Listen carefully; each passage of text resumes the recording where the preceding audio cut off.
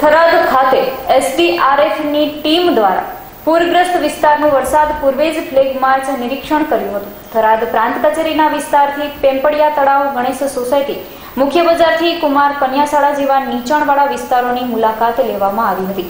સિત્તેર જવાનો સાથે થરાદ શહેરના પૂરગ્રસ્ત વિસ્તારોની મુલાકાત લેવામાં આવી હતી. અહેવાલ ગિરીશ જોશી, બનાસકાંઠા.